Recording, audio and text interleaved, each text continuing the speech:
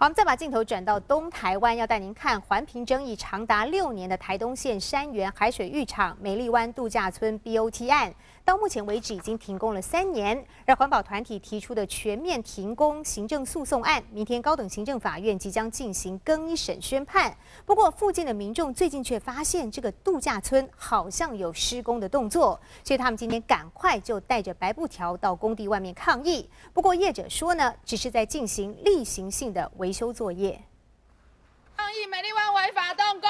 台东县东海岸赤龙社区的居民怀疑停工的美丽湾度假村又悄悄动工，拿着白布条到度假村外抗议。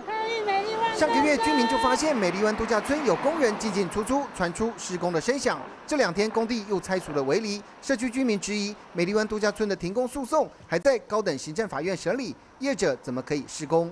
他们做哪些工程啊？你们发现？呃，他在外面拆那个围篱，然后里面有在在粉刷。环保署以及台东县政府、目的事业主管机关监管，可他们都摆烂呐！明明知道动工了，他们就不作为。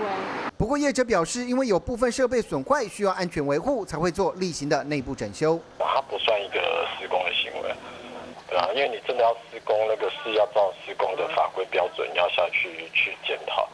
台中县政府也认为，高等行政法院已经废弃了先前停工的判决，进入更一审诉讼程序。而且业者上个月也取得了建造许可，如果业者施工也没有违法，只是大家都在等最后的判决结果。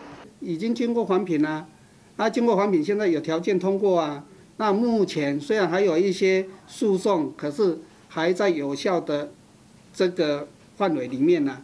美丽湾度假村是六年前台中县政府重大的 BOT 案，可新建一百六十个度假套房，但因为这项开发案被环保团体和部分居民质疑是先动工再做环评，才提起环评无效和停工的行政诉讼。